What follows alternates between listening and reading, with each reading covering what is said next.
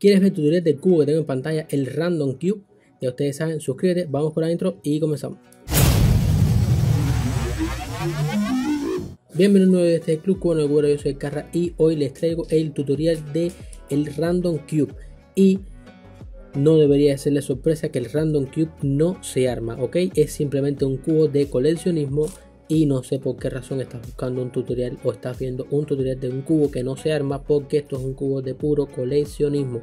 Creación propia del concepto por cierto.